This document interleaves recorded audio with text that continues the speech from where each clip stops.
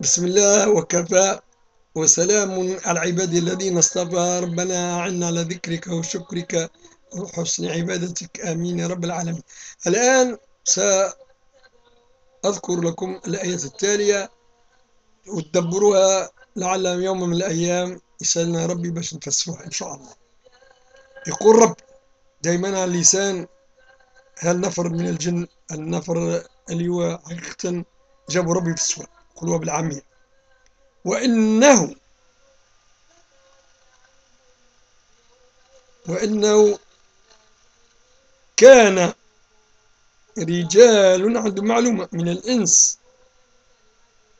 يعوذون برجال من الجن. الرجال هنا هي هي فرد بالأفراد سواء كان الإنس ولا الجن. مش رجال لوم صح المفاهيم؟ شوف اللغة العربية القرآنية.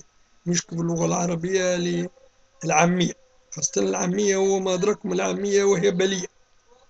وإنه كان رجال من الإنس يعوذون برجال من الجن فزادوهم رهقا وعلى اليوم في عصر الإرهاقات كلها. إرهاقات في الروح كلها متاخذة أغلبها روح منا كلها ظلمات وكل منه سخات وسخة متعفنة ملوثة. وكذلك العقول كذلك في راق شديد لا عقول اليوم تذكر كما يجب أن تذكر العقول بل اليوم ما عندهم كلمة نقول على فلان وفلانة النجمة والنجم الفلاني. هذه ليست بعقول.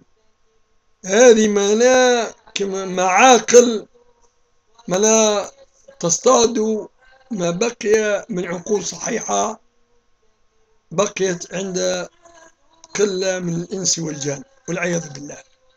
وأنه كان رجال من الإنس يعوذون برجال من الجن فزادوهم رهقا. يعني يجي يعاونوا يزيد يتخذ فيه المعون.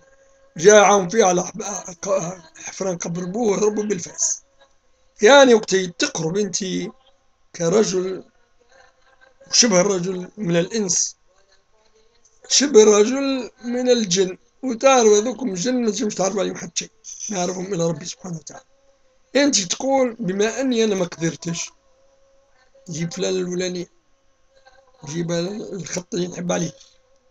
وجيب المال الفلاني. نغور عليه ما حيث حتى حد ما يتبعني بقضية قضية مالا الحقوق. وبرا. هيا ما نجمناش بالظاهر أين نمشيو بالخفي وهو علم الجن.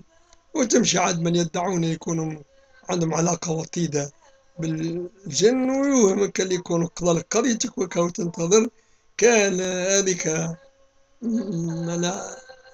الإحلات في عينيك هاني مش تجيك. تي إحلات في عينيك وربما عمرك ما تراها طول عمرك لأن أنا من أهل من الرضوان. مش من أهل الغضب الإلهي.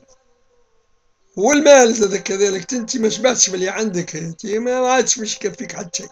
وبالله العظيم لا يملو عليك إلا التراب حين الممات. يعني ما تحياش. غفلت عن مأواك في في أرض. أنا تبدأ تضغط عليك حتى تختلف أضلاعك. غفلت عنك اللي يستنى فيك. هذا ما شيء يتسمى يتسمى عذاب الأصغر. أما العذاب الأكبر يستنى فيك والله لن تفرط منه أبدا. إنه يسكيب والسلام على من اتبع هدى الله.